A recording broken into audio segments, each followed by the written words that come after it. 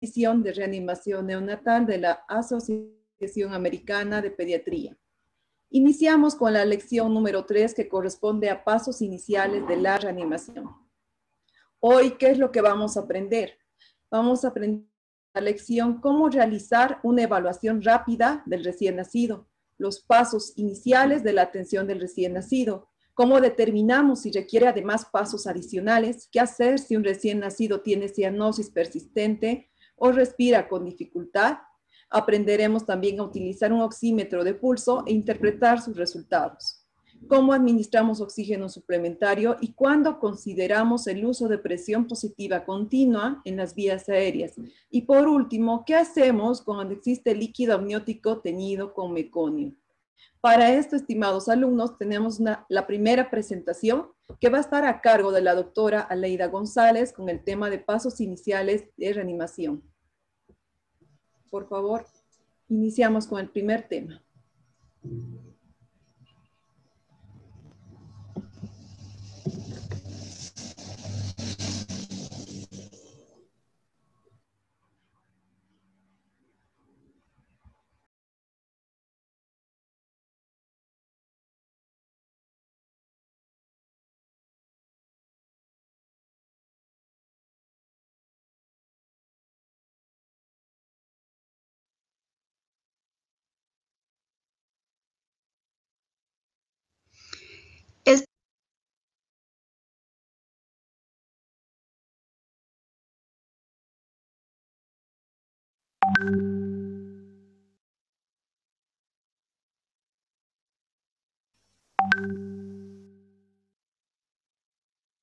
Esta es la primera parte del diagrama de flujo de la reanimación neonatal.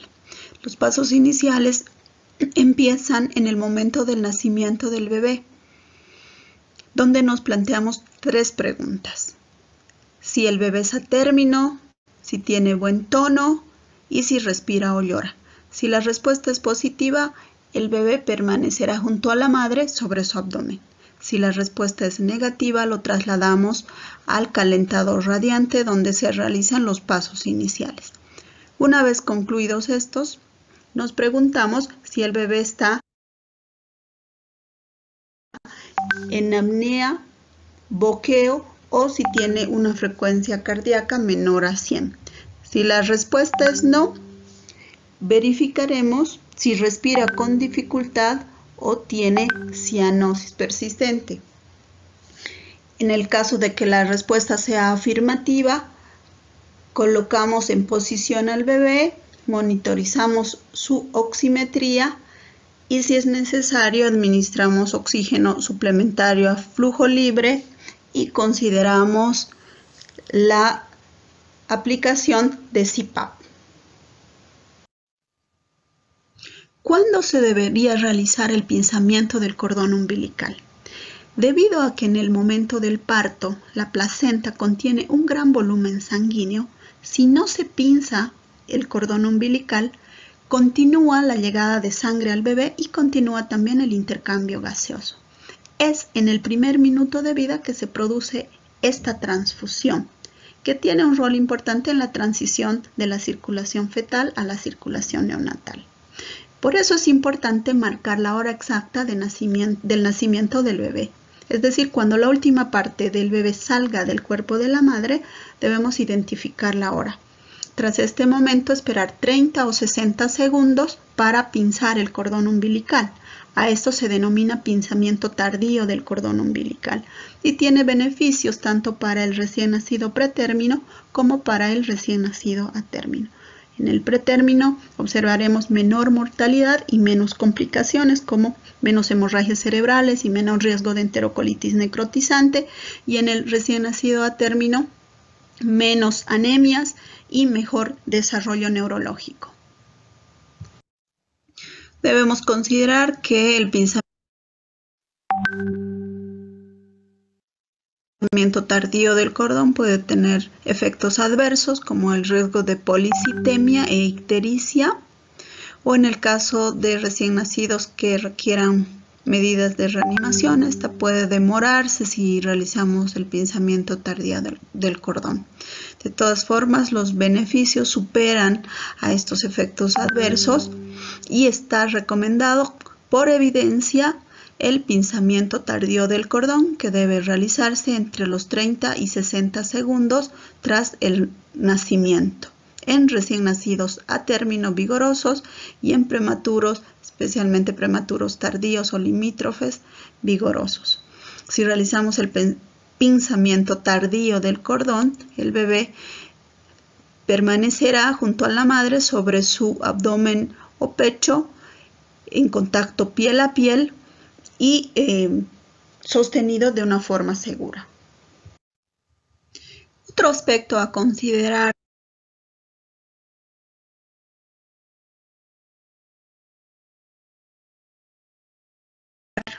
sobre el pinzamiento tardío de cordón es si la circulación placentaria está intacta o no. Si la circulación placentaria no está intacta, por ejemplo, en el caso de que se presentaría un desprendimiento de placenta, una placenta previa sangrante, por ejemplo, se debe pinzar el cordón umbilical inmediatamente.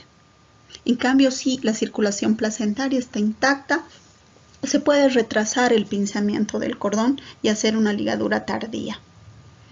Todos estos aspectos deben ser discutidos y establecidos previamente antes del parto, tomando en cuenta todos los factores previamente explicados.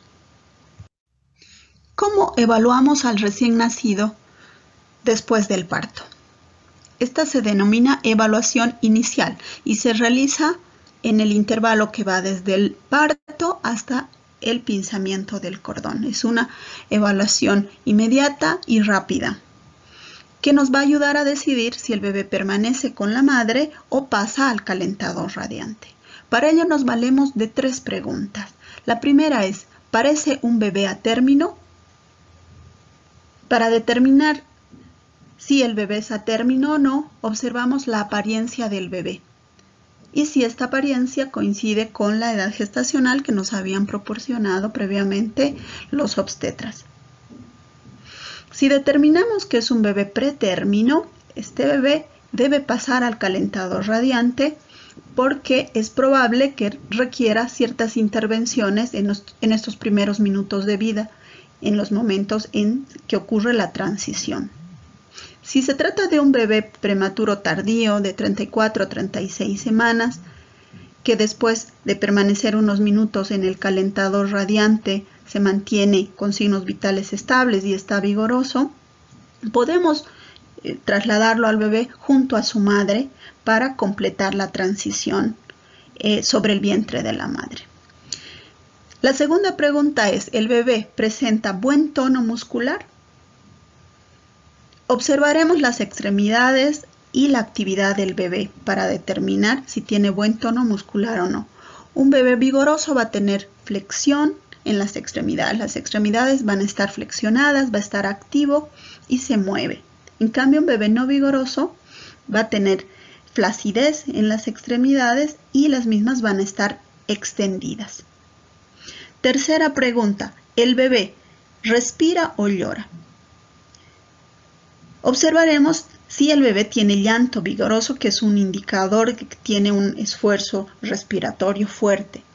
Y si no llora, nos detenemos a observar el pecho del bebé y observamos el esfuerzo respiratorio.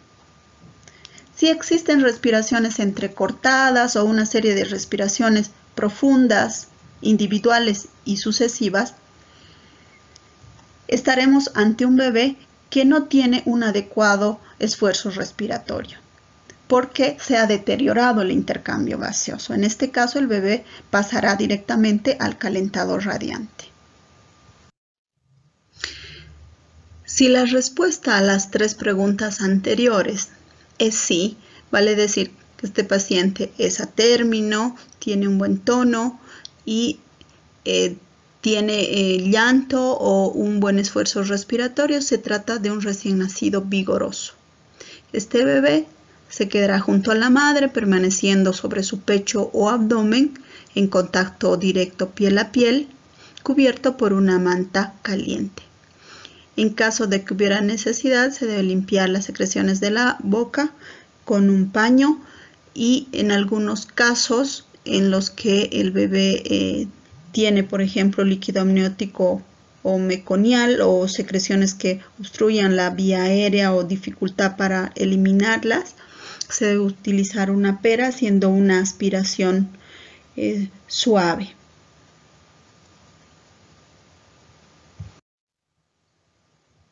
Cuando el bebé permanece sobre el abdomen o el pecho de la madre, debe ser vigilado en aspectos como en su respiración, verificar si tiene un buen esfuerzo respiratorio, que tenga un buen tono, una actividad y un color adecuados y una temperatura aceptable para determinar si necesita otras acciones adicionales, si estos parámetros no estarían acordes a lo esperado.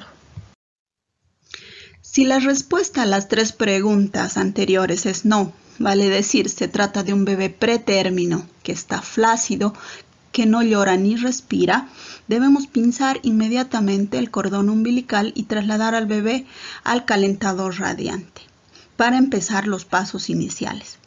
Estos pasos se inician en, número uno, proporcionar calor.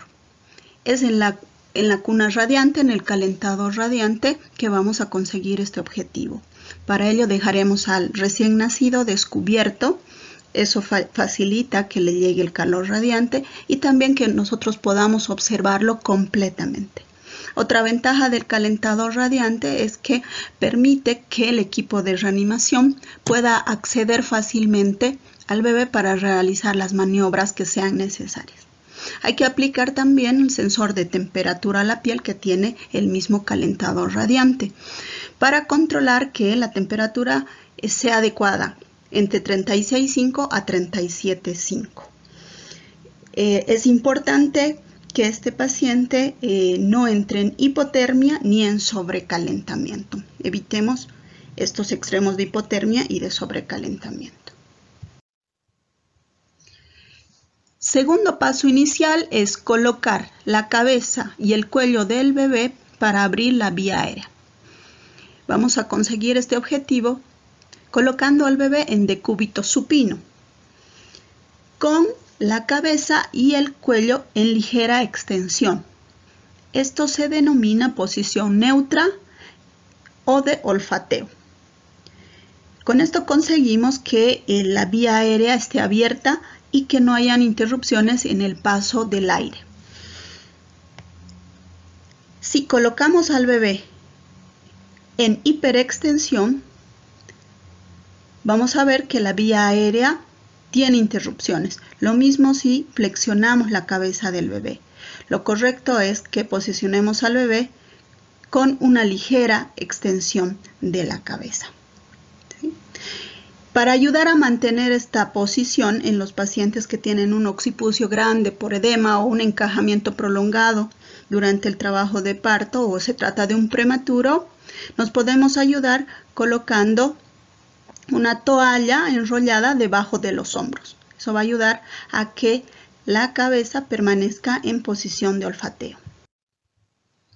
Tercer punto es eliminar las secreciones de la vía aérea si fuera necesario. Para esto nos valemos de una pera de goma o de, un equipo de aspiración.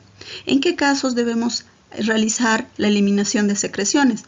En los casos donde el bebé no está respirando o tiene una respiración entrecortada. O si está respirando, nos cercioramos que tiene secreciones que están obstruyendo la vía aérea o el bebé tiene dificultad para eliminar las mismas si este bebé está flácido o um, este bebé ha tenido líquido amniótico meconial o prevemos que vayamos a ventilar a presión positiva a este bebé. La aspiración o succión de secreciones debe hacerse de una manera suave y gentil, usando una pera de goma o un equipo de aspiración. Si nos cercioramos que el bebé tiene abundantes secreciones en la boca, vamos a ponerlo con la cabeza a un lado para que estas secreciones se reúnan y sea más fácil su aspiración. Primero siempre debemos succionar la boca antes de la nariz. Recordemos, para eso hay un mnemotécnico que dice, la B, la primera letra de boca, está antes de la N de nariz en el abecedario. Por lo tanto, recordar siempre que primero aspiramos la boca antes de la nariz. Y esto es debido a que debemos asegurarnos que no hayan secreciones en la boca del bebé que podría aspirar si nosotros primero succionamos la nariz del bebé. Si este respirar en ese momento, estas secreciones pueden ser aspiradas por el bebé. No debemos succionar enérgicamente ni profundamente la boca del bebé porque podemos lesionar los tejidos o si estimulamos la faringe posterior podemos provocar una reacción vagal que se va a manifestar clínicamente por bradicardia o apnea. Si usamos una sonda de aspiración conectada a un equipo de aspiración, la presión negativa debe estar en aproximadamente 80 a 100 milímetros de mercurio cuando el tubo esté ocluido. El cuarto paso es secar al bebé. Realizamos el secado para evitar las pérdidas de calor por evaporación. Colocando una manta caliente sobre el bebé y secando suavemente todo el cuerpo del bebé. Si esta primera toalla se moja, la desechamos y utilizamos otras toallas calentadas para continuar secándolo. En el caso de los bebés prematuros menores de 32 semanas, no es necesario secar al bebé, sino poner inmediatamente o cubrirlos con un plástico para evitar la pérdida de calor.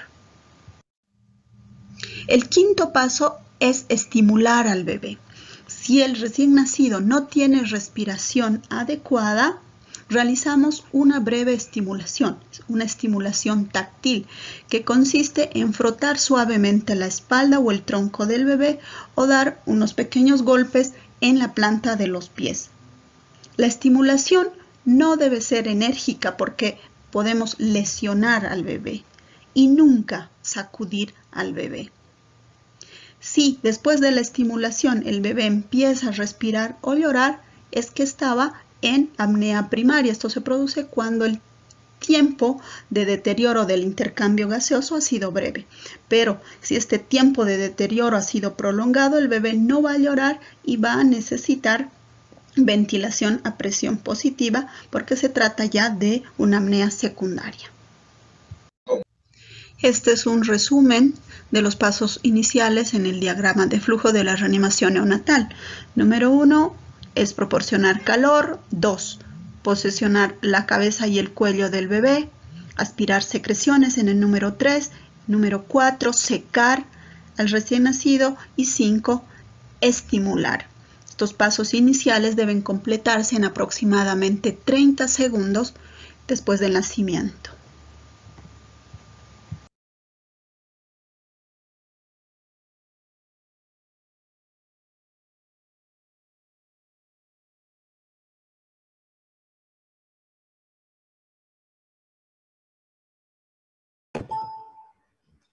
Muchas gracias, doctora González, por la presentación. A continuación vamos a tener la presentación que está a cargo de la doctora Doris Rodríguez con el tema ¿Cómo evaluar la respuesta del recién nacido a los iniciales? La siguiente presentación, por favor. Continuando, después de haber realizado una atención de rutina o haber realizado pasos iniciales, a continuación debemos evaluar. ¿Qué tenemos que evaluar? dos, signos muy importantes dentro de la reanimación. Uno va a ser las respiraciones y dos será la frecuencia cardíaca. La, la, respiración la vamos a evaluar en la superficie del tórax, los movimientos que éste puede o no hacer y puede haber variaciones. podemos tener una, una respiración apneica podemos tener, es decir, el recién nacido no va a estar respirando, puede tener una respiración de boqueo a momentos o una respiración entrecortada. En un segundo momento y muy rápidamente debemos tomar la frecuencia cardíaca. La frecuencia cardíaca podemos obtener por dos métodos. Uno, el método tradicional en el área mitral de la superficie del tórax y un método nuevo para nosotros en el momento de la reanimación que es la palpación de la base del cordón umbilical y percibir los latidos que este niño pueda tener al momento del nacimiento. ¿Cómo evaluar la frecuencia cardíaca? porque estamos considerando que nuestros tiempos son valiosos y deben ser muy cortos en el momento de la evaluación. Entonces lo que hacemos es contar la cantidad de latidos en 6 segundos y multiplicar por 10. Por ejemplo, si nosotros tenemos que hemos palpado los latidos cardíacos cardíacos en la base del cordón umbilical y estos son aproximadamente de unos 8, multiplicamos por 10 y entonces su frecuencia cardíaca de este recién nacido será de, 100, de 80 eh, latidos por minuto. También podemos encontrarnos con, un recién nacido que no esté vigoroso, es decir, no está respirando y no tiene buen tono muscular. Y como no tiene buen tono muscular y no podemos y, no está respirando y no podemos evaluar la frecuencia cardíaca, pedimos colaboración a un ayudante del equipo de reanimación que nos coloque un oxímetro de pulso o que, que coloque electrodos para, para monitoraje cardíaco. Entonces, entonces vamos a pedir ayuda para que nos ayuden con esto, ayuda para realizar esta parte bien importante si el recién nacido está no vigoroso.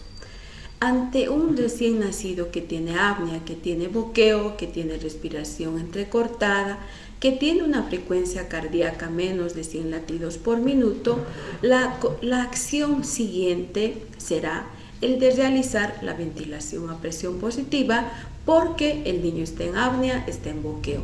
Colocaremos un monitor de saturación de oxígeno, que sea un, oxímetro de pulso o que sea un, monitor cardíaco a través de los electrodos cuando tenemos, tengamos variaciones de la frecuencia cardíaca en menos de 100 latidos por minuto y, o tengamos dificultad a través de las maniobras de los, del examen físico convencional que normalmente hacemos.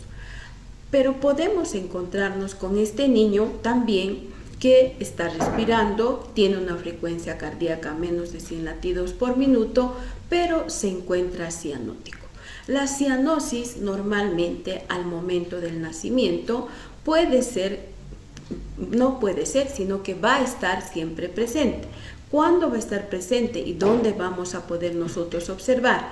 En la planta de los pies y en la palma de las manos. A eso se denomina acrocianosis que la gran mayoría de las veces se debe, este es un cambio fisiológico y que se debe a los cambios bruscos de temperatura que sufre cuando se está produciendo el nacimiento y cuando no hemos podido por, alguna circunstancia calentar el ambiente donde vamos a recepcionar. Entonces, es, esto, este, este signo es fácilmente controlable pero puede haber una cianosis, una cianosis ya no localizada, no, ya no una cianosis, una acrocianosis como acabo de mencionar, sino el niño va a estar cianótico de todo el tronco, va a estar cianótico de los labios, de la lengua, una cianosis central.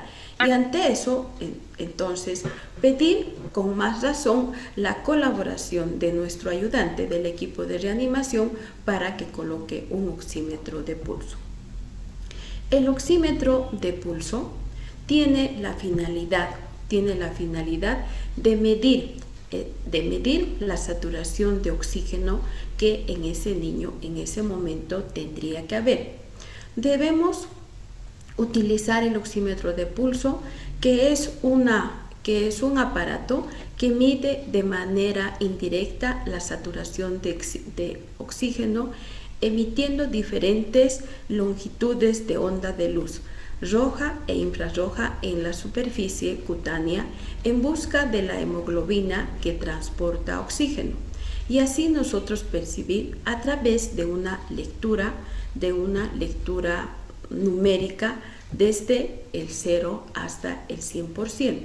Y este oxímetro de pulso nos va a dar los rangos de objetivo de la saturación preductal preductal en ese recién nacido desde el minuto de vida hasta los 10 minutos de acuerdo a la cantidad de saturación que debe tener, de acuerdo a nuestro rango objetivo que, que nosotros debemos obtener en determinado momento. Entonces, la saturación de oxígeno que nos está permitiendo, nos está permitiendo poder determinar qué cantidad de oxígeno está transportando la hemoglobina mediante la captura de estas emisiones de luz roja e infrarroja en determinados momentos y así poder nosotros poder decir si lo que estamos haciendo este procedimiento sea útil. La oximetría de pulso. La oximetría de pulso es una necesidad que la vamos a utilizar en el momento de la reanimación. La oximetría de pulso la vamos a utilizar cuando hay una cianosis central persistente. La oximetría de pulso vamos a administrar cuando haya necesidad de, dar oxígeno suplementario. Y vamos a utilizar oximetría cuando tengamos que hacer ventilación a presión positiva. ¿Cuál es la finalidad también de la oximetría de pulso? de medir la saturación de oxígeno preductal en la mano derecha. ¿Por qué decimos preductal? Porque es la cantidad de oxígeno o de mayor cantidad de oxígeno que se encuentra que se encuentra en la vena cava inferior antes de comunicarse con el eh, conducto arterioso. Entonces, es mejor, no mejor, sino que es lo ideal tomar en la mano derecha porque la cantidad de oxígeno que va a llegar antes de llegar al conducto arterioso y que esta sangre llegará al cerebro y el corazón, tiene mayor cantidad de oxígeno y por ende mayor cantidad también en el lado derecho, por eso que se dice saturación de oxígeno preductal en la mano derecha. Mide también la saturación de oxígeno postductal, la cantidad de menor cantidad de oxígeno que está capturando la hemoglobina en el lado izquierdo, es decir, la mano izquierda. Entonces, podemos con eso irnos, nosotros verificando la efectividad de nuestra reanimación a través de la oximetría de pulso. También con la oximetría de pulso lo que hacemos es evitar la innecesaria administración de oxígeno de acuerdo a los minutos de vida postnatal de ese recién nacido. Entonces, sabemos que la oximetría de pulso nos va a ayudar grandemente en nuestros pasos de la reanimación, más aún cuando no hemos hecho una atención de rutina, sino hicimos una y los pasos iniciales. ¿Podemos administrar oxígeno en ese recién nacido? Sí. ¿Cuándo vamos a administrar oxígeno suplementario? Seguramente el oxígeno suplementario lo vamos a administrar cuando ese niño tenga una respiración con dificultad o tenga cianosis persistente. Entonces, ya estamos obteniendo otra forma de cómo nos vamos a desenvolver en el recién nacido.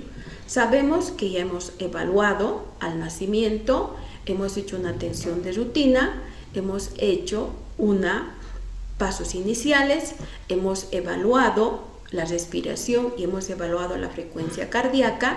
Si está presente cualquiera de estos signos, entonces vamos a eh, realizar ventilación a presión positiva, vamos a considerar eh, el monitoreo mediante el oxímetro de pulso y considerar el, monitoreo con eh, el, un electrocardiograma. Puede suceder que este recién nacido tenga dificultad para, para respirar. A su vez, como hemos mencionado, tiene cianosis persistente. Ante la presencia de una cianosis persistente, lo que tenemos que hacer es utilizar oxígeno. Pero, pero estamos viendo que hay muchas modalidades de administrar oxígeno. ¿Y cuando utilizamos oxígeno cuando, suplementario? Cuando el niño tiene dificultad para respirar y tiene cianosis persistente. tiene cianosis persistente. ¿Y cuáles son los medios para administrar oxígeno, oxígeno suplementario? Vamos a administrar oxígeno suplementario a través de una bolsa inflada por flujo. Vamos a administrar oxígeno suplementario a través de un reanimador de pieza en T. Vamos a administrar oxígeno suplementario por la tubuladura de la fuente de oxígeno, es decir, el tubo que está conectado a la fuente de oxígeno. ¿Y cómo se administra el oxígeno? Pues ya sabemos con qué dispositivos, pero ahora es administrar oxígeno aproximando el dispositivo hacia la cara del recién nacido. Como ustedes bien están observando, no estamos sobre la cara, sino aproximando porque la necesidad de oxígeno que necesita este niño será lo suficiente a esa distancia, a esa distancia que tiene ese recién nacido. Pero si este bebé sigue respirando con dificultad o presenta una baja saturación de oxígeno o presenta una baja saturación de oxígeno a pesar de haber administrado haber administrado oxígeno suplementario, suplementario por el tiempo pertinente, por el tiempo pertinente, entonces lo que hacemos será tener que tomar otra conducta. Nosotros normalmente cuando estamos administrando oxígeno, cuando estamos administrando, el oxígeno debe ir eh, calentado y humidificado. El oxígeno debe provenir, debe provenir de una fuente, de, una fuente de gas central, donde este, eh, eh, donde este debe estar codificado y debe salir de una, de, de una manguera con alta presión. El oxígeno puede estar codificado con un color verde. En cambio que el aire que nosotros también le vamos a proporcionar al momento de, de dar oxígeno suplementario también se proporciona a través de una también se proporciona a través de una de una manguera de alta presión que está codificado de color amarillo. Ambos se conectan a través de un mezclador, de un mezclador y luego debe fluir la cantidad de oxígeno a través de un medidor que se denomina flujómetro y normalmente va a 10 litros por minuto cuando estamos dando oxígeno suplementario. Si a pesar de esto nosotros estamos dando y no hay una buena respuesta del recién nacido y vemos que sigue con saturación de oxígeno baja, sigue con dificultad respiratoria y sigue con dificultad respiratoria, entonces lo que vamos a hacer es administrar es administrar una presión continua en las vías aéreas superiores. ¿Y cómo administramos una presión continua en las vías aéreas? Presión positiva continua en las vías aéreas a lo que se denomina CPAP. Y también utilizamos los mismos instrumentos, la bolsa inflada por flujo y el reanimador de pieza en T, pero con la única diferencia de que cuando no ha dado resultado el anterior método de, dar oxígeno, oxígeno suplementario acercando la máscara del dispositivo a la cara del recién nacido, solo acercar para dar oxígeno suplementario cuando el niño está respirando con dificultad y tiene cianosis persistente, no ha dado resultado y vemos que está empeorando. Ese recién nacido, entonces su saturación sigue sigue igual o está bajando, sigue respirando con dificultad, entonces el próximo método de utilizar oxígeno en la sala de partos va a ser el CPAP, la presión continua en las vías aéreas. Vamos a dar ¿Con qué dispositivo? Con una bolsa inflada por flujo, también llamada bolsa de anestesia. Con un reanimador de pieza en T, reanimador de pieza en T, pero con la diferencia de que la máscara sobre la cara del recién nacido estará bien ajustada, como ustedes están viendo. Cuando vamos a dar CPAP, queremos mantener los alvéolos abiertos de esos pulmones, tenemos que producir un sello hermético ante el fracaso de la oxigenación suplementaria. Ahora, cuando estamos haciendo nuestra, nuestra atención de rutina o, o vamos a realizar los pasos iniciales al nacimiento, este niño puede tener, al emerger del introito vaginal, puede tener meconio en la superficie cutánea. ¿Qué hacemos? Porque el niño puede tener dos variedades de meconio. Uno será un recién nacido con meconio y además le vamos a llamar vigoroso. ¿Por qué? Vigoroso porque va a tener buen tono muscular, va a tener buen esfuerzo respiratorio, es decir, se estará moviendo y estará, estará teniendo esfuerzos respiratorios. Ante eso, lo que hacemos es continuar nomás nuestros, nuestra atención de rutina. ¿Por qué? Porque el niño está llorando, el niño se está moviendo. Entonces es un recién nacido miconial, donde no implica gravedad de la situación de ese momento. Solamente hacemos lo que hicimos anteriormente, cuando el niño era término, cuando el niño estaba llorando y cuando el niño se estaba moviendo. Entonces, si todas esas tres respuestas nos han salido como sí, colocamos junto al lecho materno, colocamos junto al lecho, lecho materno el decúbito eh, eh, ventral. Si vemos secreciones en la cavidad bucal, eh, limpiamos, obtenemos estas secreciones con el campo y luego de la nariz pasamos, a, está sobre el vientre materno el producto, sobre el vientre materno, secamos con un primer paño de arriba hacia abajo y luego volvemos a colocar un segundo paño cuando el niño es meconial pero vigoroso. O sea, ningún cambio trascendental cuando hacemos nuestra atención de rutina, cuando en el niño todo está normal. Pero sí van a haber grandes cambios cuando el niño está teñido de meconio al momento del nacimiento pero está no vigoroso. ¿Qué quiere decir no vigoroso? Que ese niño no está teniendo un buen esfuerzo respiratorio, es decir, no está respirando y además tiene un mal tono muscular, no se está moviendo. Ante eso, lo que hacemos es rápidamente realizar los pasos iniciales. Cortamos el cordón umbilical, colocamos bajo una fuente de calor radiante, posicionamos al recién nacido, posición del fateo, con el cuello ligeramente extendido, cuello ligeramente extendido.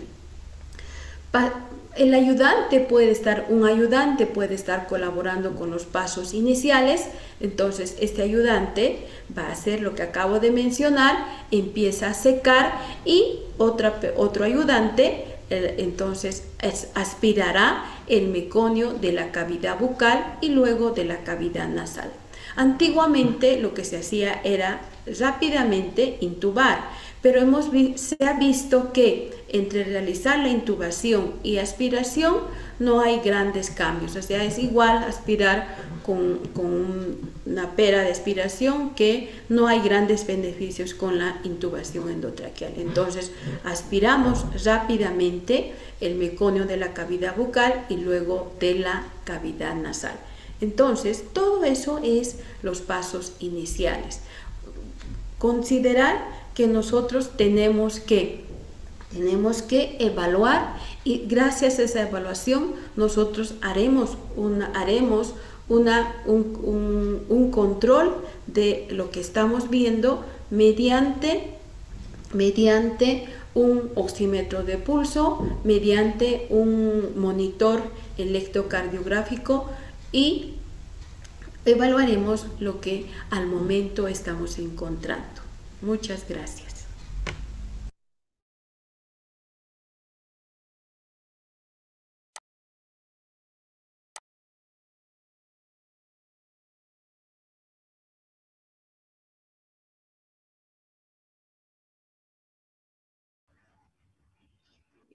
Muchas gracias, estimadas colegas, por su participación. Siguiendo con el programa del curso Taller de Reanimación Neonatal, tendremos la práctica simulada. El primer video que vamos a ver ahora es sobre referente a lo que es la atención de rutina. Podemos empezar, por favor, con el primer video.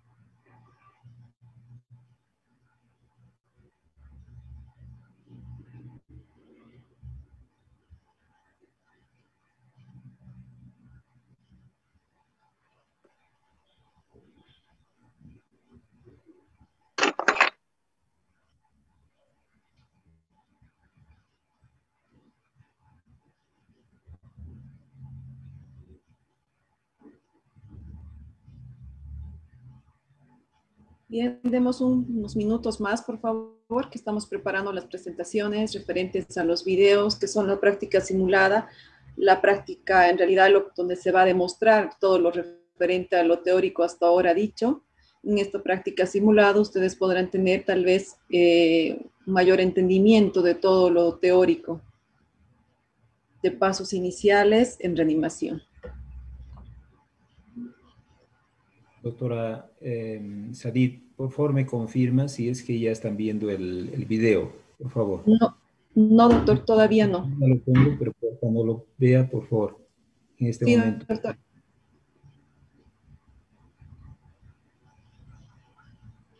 ¿Ahora están pudiendo verlo? Aún no, doctor. ¿Ahora? Ya Ahora. veo el escritorio de su pantalla, doctor. Perfecto. Gracias.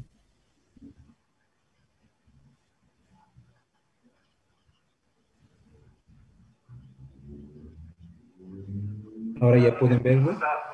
Sí, doctor, solamente amplifique la, la pantalla del video. Ahorita está progresando súper bien, la mamá joven, y quería avisarle que ya la vamos a subir a sala de parto, está yendo bien. Sí, doctor, está muy bien ahora.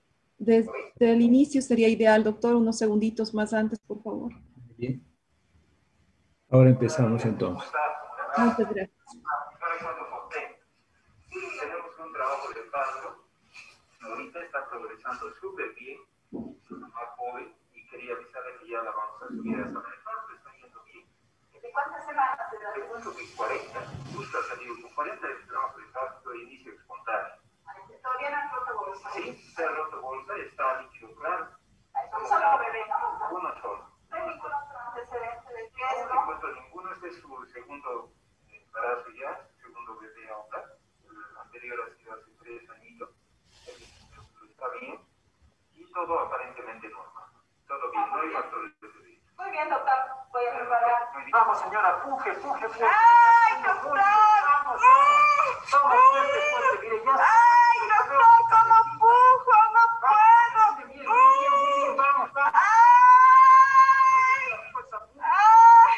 Excelente, ya sale, ya sale. Ya sale.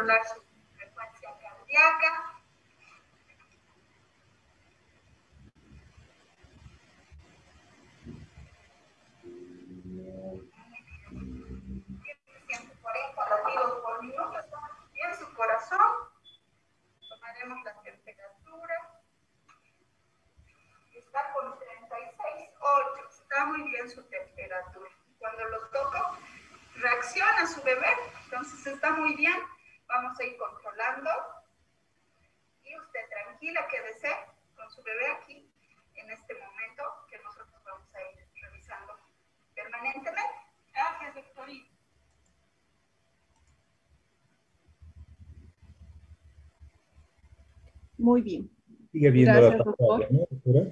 Sí, se, se ve muy bien, doctor. Entonces, en el primer video vemos lo que es atención de rutina con un bebé que ha sido, que ha, se ha adaptado a la vida extrauterina, no tuvo ninguna dificultad en la transición. Y en el segundo video, ahora que estamos iniciando, vamos a ver lo que son los pasos iniciales.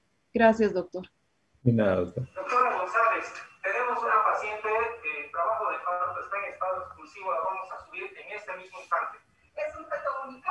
Exactamente, doctora, es un trato único. ¿De cuántas semanas? Estamos hablando de que es un bebé de 38 semanas, escasez. ¿El, ¿El líquido amniótico es roto bolsa? Acabamos de romper bolsa y el líquido amniótico está meconiado. Bien, entonces, ¿y otros factores de riesgo han encontrado en la madre? Hemos tomado, le hemos tomado la presión y está en 140, 100. La madre tiene antecedentes de que no ha hecho ningún control prenatal eh, hace dos días ya han detectado una infección urinaria y está con 39 grados de temperatura, doctora. Uy, factores de riesgo. Entonces, nosotros, yo voy a ir a armar el equipo, informo y enseguida estamos, doctor. Doctora, esperamos, ya vamos Gracias. a la paciente. Enseguida estamos. Buenas tardes, doctora Rodríguez, doctora Payates.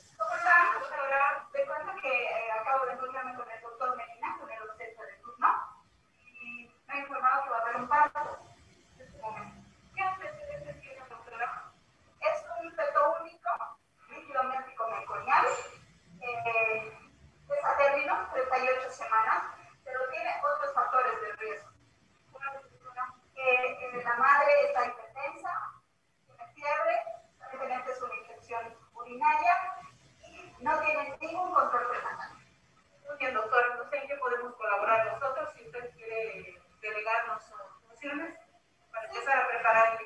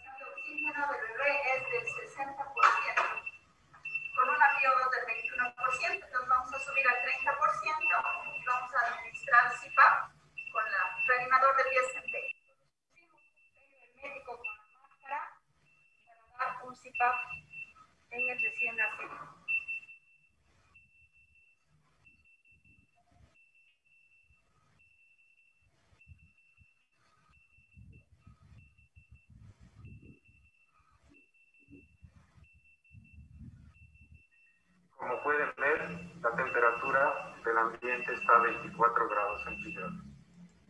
Doctora González, tenemos una paciente, eh, trabajo de parto está en estado exclusivo, la vamos a subir en este mismo instante. ¿Es un feto único? Exactamente, doctora, es un feto único. ¿De cuántas?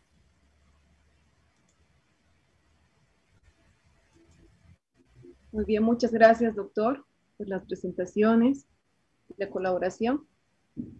Estimados alumnos, colegas, finalizamos la presentación tanto teórica como práctica de este tema. Y a partir de ahora, estimados alumnos, pasamos a lo que es la ronda de preguntas, por favor. Si tienen alguna pregunta, por favor, o algún comentario al respecto también, que estén interesados en compartir con todos, por favor, es ahora. Adelante. Buenas tardes, doctores. Eh, quisiera eh, pedirles que me den algún ejemplo de la respiración interrumpida, porque si bien dice que las inspiraciones son profundas, no logré captar muy bien el concepto. Gracias. Muy bien. Doctora Rodríguez, por favor.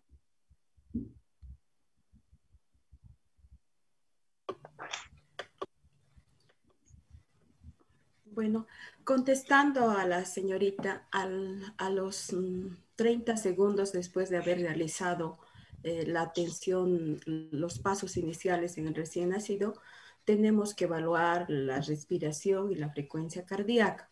La, re- la respiración entendemos que los primeros minutos de vida, los primeros segundos de vida, estos primeros 30 segundos normalmente eh, debe transcurrir con que ese niño, que ese recién nacido tenga un esfuerzo respiratorio en vías de instaurar una respiración regular. Entonces, ante la presencia de probablemente de factores de riesgo previos o intraparto, ese niño puede tener algún problema en la respiración o puede ser un prematuro. Entonces, ustedes comprenderán que hay muchos factores de riesgo y el niño puede no tratar, no eliminar con, con su primer, al cortar el cordón umbilical, debe empezar a respirar. Y con su primera respiración tiene que llegar oxígeno, aire hacia los alvéolos pulmonares y a cambio tiene que haber salida del líquido pulmonar. Pero por algún factor inherente a los factores de riesgo, este niño no logra esa transición, entonces empieza a tener una respiración entrecortada, respira, hace periodos de hace periodos de pausa y si estos son más prolongados, entonces hace, eh, eh, son, son más prolongados, entonces no solo va a haber un cese de la respiración, sino también habrá una habrá una disminución de la frecuencia respiratoria, que eso se llama eh, respiración apneica. Pero a momentos el paciente también entonces puede dejar de respirar, entonces será una pausa respiratoria o respiración entrecortada que pueda tener ese recién nacido a la evaluación de la frecuencia respiratoria y de las respiraciones y de la frecuencia cardíaca. Gracias, doctora Rodríguez. Muchísimas gracias. ¿Alguna otra pregunta más, por favor? Sí, buenas tardes. Yo tengo una pregunta. En el caso de que sea un embarazo de eh, fetos múltiples, eh, de, bebés múltiples, ¿que debemos aumentar el personal o se maneja con la misma cantidad de personal de salud el paro? Muy buena pregunta. Muy bien. Gracias, Adriana. Por favor, doctora mm, González.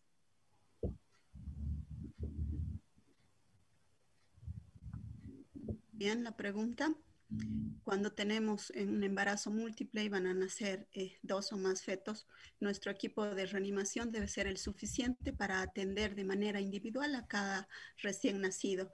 Eso quiere decir que habrá eh, tres equipos de reanimación en el caso de que hayan tres recién nacidos o dos equipos si hay dos recién nacidos. Y eh, consideraremos también la edad gestacional de estos, de estos bebés. Em, la mayoría de las veces los, recién nacidos, eh, que son varios, eh, son muchas veces prematuros, entonces hay que considerar que probablemente requieran maniobras de reanimación avanzada. Por lo tanto, deberán existir eh, dos o más equipos de reanimación completos para que ofrezcamos la mejor atención eh, a, los recién nacidos que nacen en estas circunstancias. Muy bien, muchas gracias, doctora González. Eh, Pamela Valverde, tiene el micrófono, por favor. Buenas tardes, doctores. Eh, bueno, mi pregunta es, eh, no llegué a escuchar muy bien, se entrecortó y quería saber cuál es el tiempo en el que debemos medir la cantidad de latidos y si me pueden poner un ejemplo, por favor. Doctora Rodríguez o, Bien, eh, doctor Chavarría. Gracias. Sí, en realidad, em, evidentemente es muy importante el tiempo del latido y gracias por la pregunta, porque no puede ser muy largo. Piensen ustedes que tienen que evaluar rápidamente al niño y por lo tanto se ha determinado que sean solamente seis segundos. O sea, se cuenta el latido por los métodos que comentaba la doctora, ya sea por el método auscultatorio, que es el más confiable, el oxímetro de pulso, o el electrocardiograma, ¿no es cierto?, con tres derivaciones, lo contamos solo en 6 segundos. Ejemplo, el niño tiene 8, le aumento un 0 y es 80. El niño tiene 12, le aumento un 0, es 120. El niño tiene 4, le aumento un 0, es 40. El niño, el niño tiene 9, le aumento un 0, es 90. Ese es el método. Bien, muchísimas gracias, doctor Chavarría. Doctora González. Sí, hay que recalcar también que el número que nos debemos acordar siempre cuando determinamos la frecuencia cardíaca es el 100, ¿no? Por debajo de 100 y por encima de, de 100 latidos. Cuando el niño, eh, nosotros vamos a evaluarlo después de los pasos iniciales, de los cinco pasos que habíamos determinado, verificamos este bebé está respirando y su frecuencia cardíaca. Si la frecuencia cardíaca es mayor a 100 o menor a 100. Y la explicación que daba el doctor es bien importante que solo en 6 segundos debemos contar la frecuencia cardíaca. Muchísimas gracias, doctora González, por su participación, doctor Chavarría. Vamos a continuar, por favor. Eh, Diana Caballero. Tienes el micrófono. Buenas tardes, doctores. Eh, mi duda era acerca del momento al secar al bebé. ¿Por qué en los niños prematuros de menos de 32 semanas hay que cubrirlos con una bolsa de plástico de polietileno? Muy bien, muchas gracias Diana. Doctora. Gracias. Los bebés sí, sí, siga doctora. Gracias. Los bebés prematuros son mucho más susceptibles a, perder el calor por las diferentes formas que los neonatos pierden el calor. Eh, uno de los métodos para evitar esta pérdida de calor que se descompensen por hipotermia es colocarles en una bolsa plástica. Esto va a evitar eh, la pérdida de calor por, por no solamente por, por, el medio, método de, eh, de, de evaporación, sino también por los otros métodos ¿no? de, de, conducción, de radiación que existen. Entonces ellos son mucho más susceptibles a perder calor, por eso que inmediatamente deben ser eh, cubiertos con esa bolsa plástica. Muchísimas gracias, doctora González. Eh, a continuación, Gerson Cano Morales. Tienes el micrófono, por favor. Eh, buenas tardes. En eh, mi consulta era sobre el pensamiento tardío.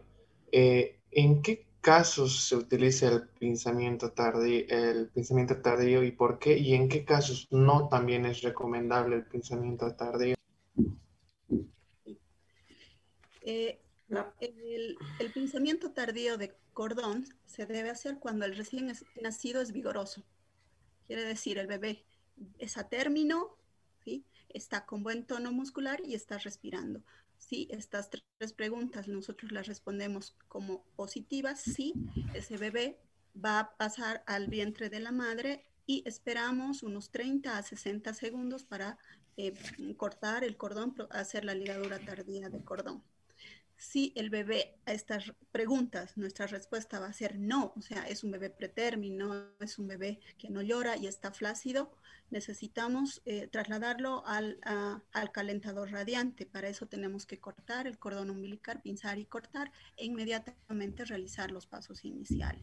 ¿no? Entonces, un bebé vigoroso se puede quedar junto a la madre y esperamos eh, hacer el pinzamiento tardío de cordón. Bebés no vigorosos pasan al calentador radiante con una ligadura inmediata del cordón umbilical. Hay algunos aspectos también que hay que considerar aquí.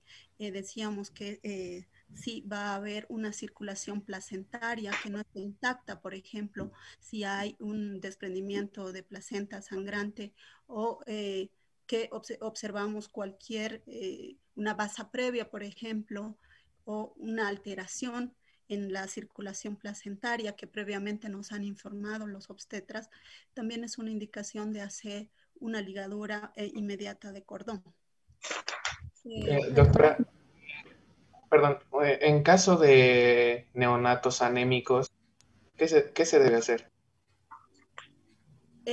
vamos a valorar exactamente igual que valoramos a todos recién nacidos Si el neonato anémico, como tú dices, es un bebé que al nacer es no vigoroso, vamos a cortar el cordón umbilical inmediatamente y lo pasaremos para hacer eh, los pasos iniciales en, la cuna radiante. Muchas gracias, doctora González. A continuación, eh, Natalia Villegas Zamora, por favor.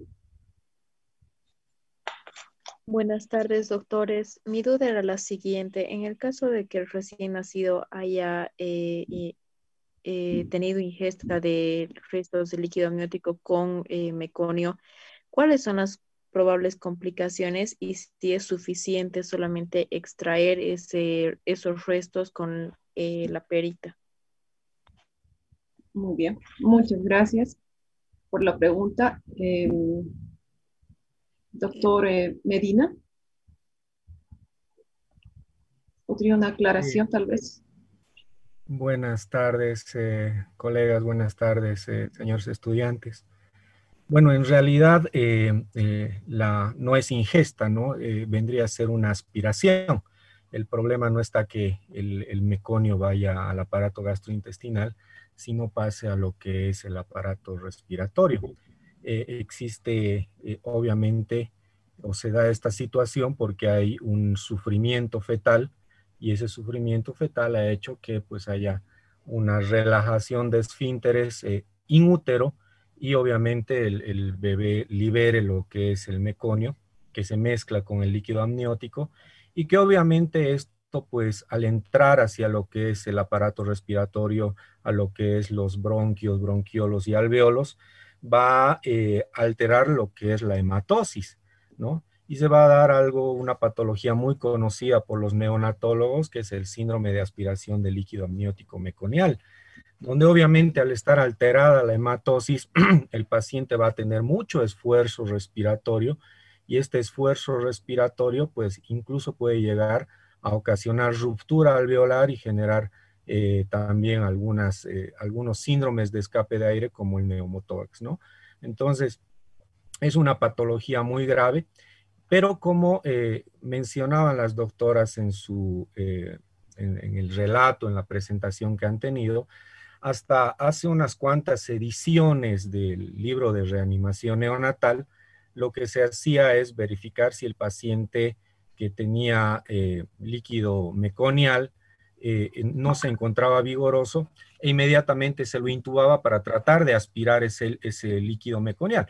Pues ahora no se hace eso, simplemente se va a tratar igual que a cualquier otro paciente con las pequeñas diferencias en que si el paciente está vigoroso en el momento del nacimiento y tiene meconio, se va a hacer la aspiración del líquido amniótico meconial con una perita. La diferencia es esa, ¿no? Fundamental. Al paciente vigoroso no tiene líquido amniótico meconial, se le hace una limpieza con solamente una gasa o con una, una compresa de lo que es las secreciones y al paciente que es no, eh, no eh, vigoroso pero tiene el antecedente de líquido meconial, se le va a hacer una aspiración con lo que es la perita de goma. Después, en caso de que no sea vigoroso y lo han llevado a lo que es el, calentador, pues se eh, va a hacer una reanimación de la misma manera que eh, de la que ya, o los pasos iniciales que ya les ha explicado la doctora. Muy bien, muchísimas gracias, doctor Medina, por su participación. ¿Alguien algo más que se quiere colaborar sobre el tema, doctores? Creo que está todo entendido. Em, no tengo más preguntas por el momento de los participantes.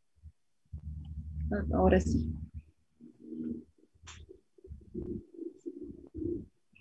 Bien, eh, Karen Onishi Cuellar, por favor, ¿cuál es la pregunta? Buenas tardes, doctora. Mi pregunta era acerca de los pasos iniciales en una en un embarazo por cesárea se llega a hacer los mismos pasos o hay alguna variación en respecto a los pasos que realizamos. Muy bien, muchísimas gracias por la pregunta. Eh, sí podríamos, eh, doctora Payarles, complementar un poquito tal vez a esta pregunta. Efectivamente, ¿no? Si es, es, un, es cesárea y estamos haciendo pasos iniciales, es un recién nacido a término, eh, respira, llora, tiene, tiene eh, buen tono muscular, entonces estamos en buenas condiciones de hacer apego precoz y ligadura tardía que se hace y se practica, no es algo real. Eh, muchos de, sus compañeros que han ido rotando años anteriores eh, en su rotación por el Hospital de la Mujer, se hace esa práctica, ¿no? es, no hay ninguna contraindicación que no se haga en este aspecto. Pero si el paciente hay un no en la respuesta, en la primera evaluación que estamos haciendo, ¿no? Y vamos a tener que a trabajar en otro lugar obviamente vamos a, incluso vamos a, esperamos a la ligadura tardía, que se haga los dos o tres minutos, como les decía.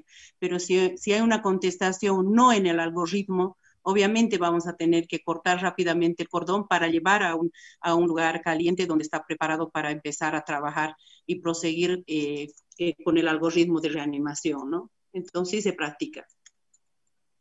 Bien, entonces quedando ahí un poco más claro, sí se puede realizar si se trata de un parto por cesárea, lo que son la atención de rutina, siempre y cuando se den las condiciones también maternas, que no tengamos problemas con la mamá, la mamá se encuentre en un buen estado de, de salud, un estado general y hay una buena respuesta del bebé, entonces sí se realiza lo que es la atención de rutina. Bien, doctores, hasta el momento no tengo todavía ninguna pregunta.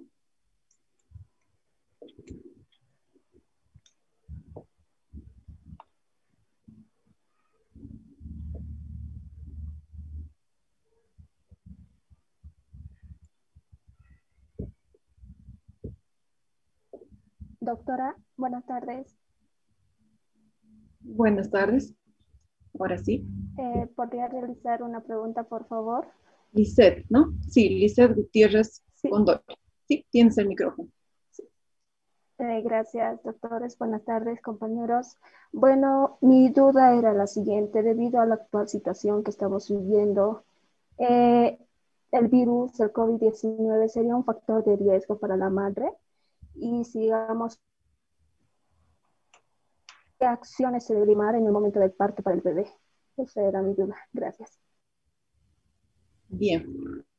Eh, tal vez podría complementar esto al respecto, que precisamente tenemos un artículo nuevo sobre esto, lo que es COVID y embarazo, que se ha hecho por la Sociedad Iberoamericana de Neonatología, en el cual ellos sugieren, indican incluso que el contacto piel a piel con la madre y la lactancia materna siguen siendo una parte esencial para garantizar la salud y un adecuado desarrollo del recién nacido y han habido muchas dudas sobre si hacemos o no el apego precoz, ligadura tardía, y cuando la mamá es positiva y no tenemos, no sabemos qué conducta realizar. En este caso, la Sociedad Iberoamericana de Neonatología, si bien ellos sí promueven y mantienen ambas prácticas, tanto la lactancia materna, el apego precoz y la ligadura tardía, pero siempre y cuando eh, tengamos una protección adecuada, la mascarilla, el lavado de manos, la higiene que nos han recomendado, el ambiente que sea eh, un ambiente que sea libre o sin contaminaciones. En ese caso, pues incluso la madre tiene derecho a estar acompañada y debemos permitirle lo que es el apego precoz, la, la atención de rutina, siempre y cuando con protección.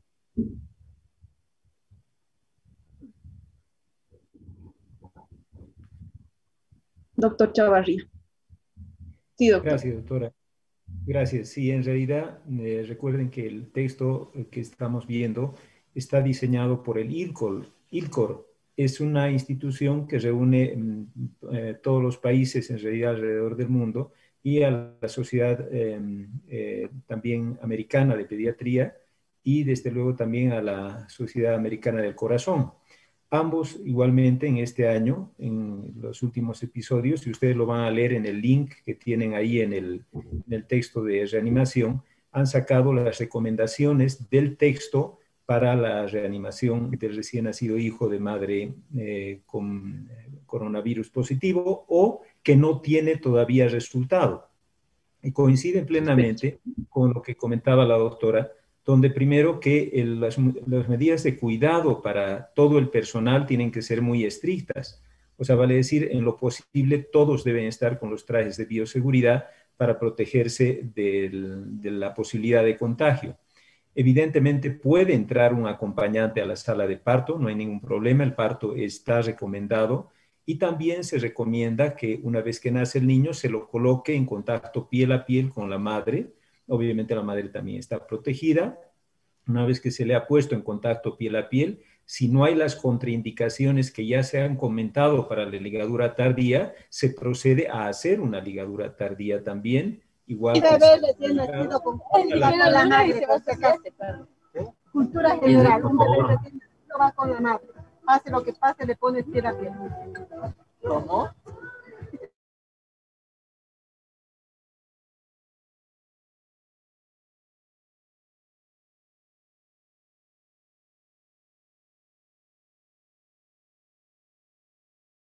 Doctor, Chavarría, su micrófono. Gracias, gracias, doctor. Les decía entonces que evidentemente todos están de acuerdo en que se debe hacer la ligadura tardía, que se debe promover la lactancia inmediata y desde luego con los cuidados para el personal y para el propio niño y de la madre también. Por lo tanto, no hay hasta este momento, en las revisiones que se hacen, ninguna posición en contra de este hecho, salvo que sean las contraindicaciones que ya hemos escuchado de los doctores de la ligadura eh, tardía.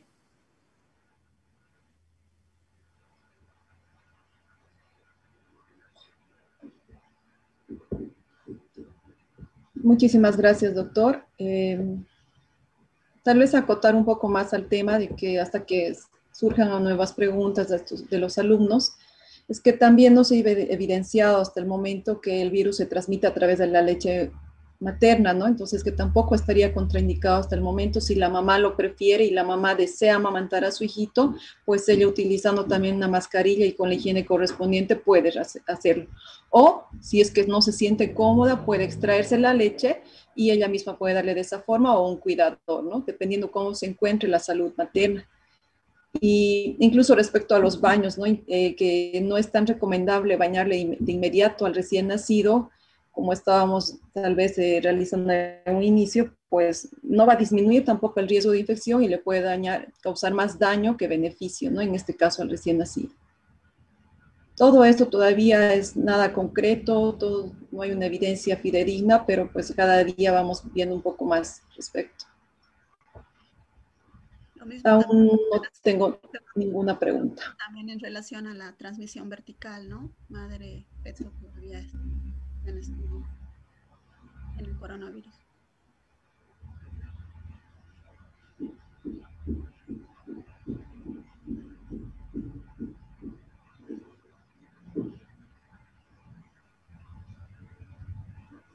Buenas tardes. Eh, tenía Soledad. Sí, tienes el micrófono, por favor, continúa. En la evaluación inicial hay tres preguntas. En la primera dice que tenemos que ver si parece ser un bebé a término. ¿En qué me debo fijar en el bebé para saber que es un bebé a término? Bien. Eh, doctora Rodríguez, por favor.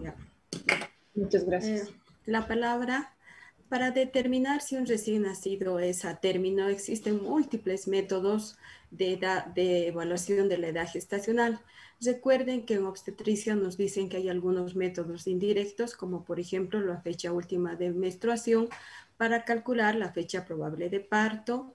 Esos son métodos indirectos que, a través de los cuales podemos determinar la edad gestacional de ese recién nacido, si es un pretérmino a término, también podemos determinar mediante la ecografía obstétrica, podemos determinar mediante la altura uterina, podemos determinar mediante los latidos fetales y más o menos aproximar o los movimientos fetales que este eh, producto tiene durante el periodo gestacional. A eso denominamos métodos indirectos. Existen métodos directos eh, los cuales nos van a ayudar a determinar la edad gestacional a través de un examen somático que se hace rápidamente al momento del nacimiento. Por ejemplo, aquellos recién nacidos pretérmino, pretérmino o los recién nacidos cercano a término tienen eh, algunas características físicas que nos ayudan a grosso modo a determinar la edad gestacional como por ejemplo puede ser la presencia del lánugo. Cuanto más prematuro va a haber mayor eh, cantidad de este vello fino que va a recubrir su cuerpo de ese recién nacido. Cuanto más prematuro, también habrá cantidad de unto sebáceo o grasa, en el cuerpo de ese recién nacido. Y si se, si se va aproximando a término, estos dos signos que nos ayudan a evaluar así a grande, muy rápidamente, ya no existe en la superficie de ese recién nacido. Existen algunas tablas que también nos van a ayudar a determinar la edad gestacional, como el test de Usher, como el test de Capurro dos eh, métodos para determinar la edad gestacional a través de un examen somático que podamos hacer en el recién nacido. Como por ejemplo el test de Capurro, que es actualmente el que mayormente utilizamos en, las clínicas obstétricas o en los hospitales, que nos ayuda a evaluar la edad gestacional para saber si es un niño pretérmino, si es un niño termo, término o si es un niño postérmino. ¿Qué toma en cuenta Capurro? Toma en cuenta el pabellón, el pabellón auricular, toma en cuenta la glándula, el, la glándula, el tamaño de la glándula mamaria y el pezón, toma en cuenta, mm, toma en cuenta la textura de la piel, toma en cuenta los pliegues plantares, entonces vamos puntuando en base a lo que encontremos y así podemos determinar la edad gestacional en ese recién nacido. Así, ah, muy rápidamente al momento del nacimiento.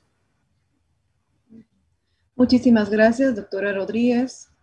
No tengo más preguntas. Doctor Chavarría, doctor Medina, doctora Maclene Payares, doctora Leida González. Eh, podemos dar por concluida tal vez la ronda de preguntas, no tengo más hasta el momento, y vamos a, a finalizar con la sesión por Zoom, y tienen ahora 18, estimados alumnos, eh, programado en el eCampus, en el curso taller de reanimación neonatal, su cuestionario post-test relacionado a esta lección número 3. Entonces sean puntuales, por favor, para no tener dificultad y el desarrollo del mismo. Eh, ¿Quieren añadir algo, doctores? Por favor, doctor Chavarría tiene la palabra. me imagino, gracias doctora, me imagino que hay muchas dudas de los alumnos en cuanto a lo que es este capítulo, tal vez puntualizar ya en el tratamiento. Han visto ustedes que se le ha dado en algún momento a los, a los pequeños oxígeno, veían ustedes en los videos cómo se les daba con el reanimador en pies en T o eh, tanto oxígeno a flujo libre como también el CPAP. En ese sentido, recuerden que también en el texto el otro método que es la mano en copa, ¿no? Se muestra en las imágenes también la mano en copa, que es poner la sondita metida en medio de la mano, ¿no es cierto? Y acercando así en esta forma como una copa para el bebé para generar una mayor concentración de oxígeno. E, ese es un método también bastante utilizado cuando se quiere dar oxígeno a flujo libre. Recuerden que no pueden dar el oxígeno a flujo libre con sus bolsas autoinflables, estas están contraindicadas, ¿no? Eh, solo fluye el, aire cuando uno presiona la, la, bolsa, entonces tendría que estar así presionando a cada instante para poder generar oxígeno, es imposible. O en la parte posterior que también puede generar el oxígeno en la parte trasera por donde entra el reservorio, también podría ser una vía, aunque no es constante, no está bien medida. Sea que los mejores métodos son la mano en copa para el oxígeno a flujo libre o en su defecto con la bolsa inflada por flujo o el reanimador en pies en T. También la forma de dar del CPAP, presión positiva continua de la vía aérea, veían ustedes en el video cómo eh, quedaba presionando la mascarilla en la boca del bebé, quedaba una presión residual. El objetivo de esta es evitar el colapso alveolar, porque si le ponemos alejadita, obviamente al expirar se va a colapsar el alveolo totalmente y en el proceso de la inspiración el niño va a necesitar demasiado esfuerzo para distender los alveolos. Por lo tanto, el CPAP es muy importante con una presión residual, generalmente fijada en 5 o 8, que permite dilatar un poquito el alveolo cuando el niño está expirando. Deja un aire residual que le facilita bastante la respiración. Esto solo se hace con o el reanimador de pies en T o en su defecto con la bolsa inflada por flujo, que también es un instrumento importante ¿no? para este aspecto. No sé si alguien quiere comentar algún otro tópico que, que se tenga que aclarar. ¿Palabra? Doctora Rodríguez. Eh, pero primero quiero agradecer la presencia de todos los alumnos porque están viendo que realmente reanimación neonatal es un tema bastante importante dentro del ámbito laboral que ustedes posteriormente eh, probablemente tengan que ejercer. Estos pasos iniciales que hemos acabado de enseñarles o que hemos tratado de enseñarles, lo que hace es que ustedes tengan, estén alertas ante la presencia de los factores de riesgo perinatal que van a influir grandemente en lo que ustedes puedan hacer. Si no tiene factores de riesgo perinatal, seguramente ese recién nacido solamente va a requerir una atención de rutina. Pero si probablemente hay factores de riesgo, ese niño va a requerir pasos iniciales, pero los pasos iniciales hasta llegar a su evaluación no deben exceder más de los del minuto de vida. Por eso también se denomina minuto de oro. Entonces, ese minuto de vida a ese recién nacido le va a dar una, una calidad. Entonces, lo que nosotros que estamos tratando al enseñar reanimación neonatal es que ustedes den una mejor calidad de vida a ese recién nacido porque yo siempre les digo, si ustedes, por ejemplo, no hacen una reanimación tal cual nos dicen los flujogramas, seguramente van a ser niños que van a tener algún grado de discapacidad y que nuestros malos actos durante ese momento o nuestro desconocimiento de lo que tenemos que hacer está en el psicopedagógico, está en el psiquiátrico, está en todos esos lugares donde ese niño en, en, un futuro va a tener algún grado de discapacidad. Entonces, yo pienso que con este tema ustedes han podido alertarse de lo importante que es la reanimación, especialmente en el primer minuto de vida. Entonces, conforme vayamos avanzando, vamos a ir aprendiendo el primer flujograma que les hemos enseñado aproximadamente de una hoja. Entonces, ahora ya estamos en un tercio. Seguramente la próxima, la próxima charla vamos a ir complementando y llenando nuestro flujograma que ustedes tienen que saber y que yo pienso que es muy importante en su vida futura jóvenes. Muchas gracias. Muchas gracias, doctora Rodríguez. Doctora González, por favor, tiene la palabra.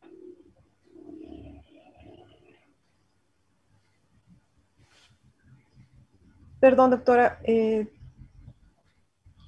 su audio. Ahora sí. Gracias, doctora.